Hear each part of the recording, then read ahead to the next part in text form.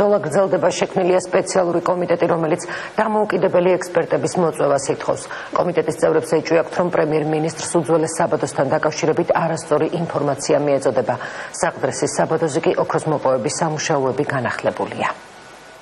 არის თუ არა საყდრის ყაჩაღიანის საბადო კულტურული მემკვიდრეობის ძეგლი. ეს არის კითხვა, რომელზეც კულტურის სამინისტრო პასუხს გარკვევით არსცემს. ასეთი პოზიცია საყდრისის გადარჩენის საზოგადოებრივი კომიტეტის წევრებს აქვთ. კომიტეტში შემავალი მოძრაობა დავითიანის წევრები კი აცხადებენ, რომ პრემიერ-მინისტრ ირაკლი ღარიბაშვილს ამ საკითხზე არასწორი ინფორმაცია მიაწოდეს. ამიტომ საქმეში დამოუკიდებელი მეცნიერების ჩართვას ითხოვენ და სახელმწიფოს მეთაურებს მიმართავენ. და შევქმნით ეს კომიტეტი, რომელშიც შედიან დაახლოებით 30-მდე ორგანიზაცია და მათ შორის კულტუროლოგები, მეტალურგები, არქეოლოგები, გეოლოგები. ჩვენ ვითხოვთ შევიდნენ აღნიშნული დარგის სპეციალისტები პლუს ქართულ მეცნიერებთან ერთად. შეისწავლონ თუ რა მდგომარეობაშია ძეგლი და დაასკვნან ბოლო-ბოლო მისი სტატუსი და ბოლოს მესამე მოთხოვნა ეს სტატუსი გახდეს საჯარო. ზანამ არ დაიდება დასკვნა რეალურად არგუმენტირებული და კომპეტენტური იმის შესახებ თუ რა არის საყდრისი. მოხდეს მორატორიუმი და კომპანია ვერ გააგრძელოს აღნიშნულ ტერიტორიაზე სამუშაოები RMG Gold-ისთვის შეჩერებული სამუშაოების ჩატარების ნებართვა მოგვიანებით კულტურის სამინისტროს მიერ გაცემული დადებითი დასკვნით კვლავ ძალაში შევიდა, თუმცა სამინისტრომ გარკვეული პირობებიც წამოაყენა.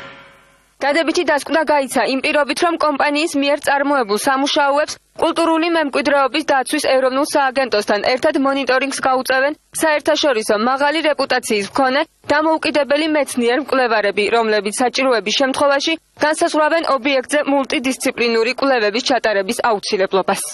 ვაფეთქებენ მე შეისწავლიან რაღა უნდა შეისწავლონ RMG Gold-ისთვის სამუშაოების განახლებაზე დადებითი დასკვნის გაცემამდე კვლევართა 11 კაციანი ჯგუფი შეიკრიბა. მათ შორის იყვნენ სამინისტროს წარმომადგენლები და გეოლოგები.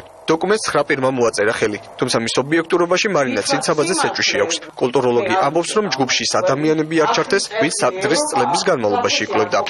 არ იყო ჩართული გერმან გერმანიის მხარიდან ისე ექსპედიციის ხელმძღვანელი არც ირინა ღამბაშიძეს შეეკითხეთ, რომელიც ქართული მხარიდან იყო ექსპედიციის ხელმძღვანელი, ერთიანი დასკვნა არ იქნა გამოტანილი და საბოლოოდ ეს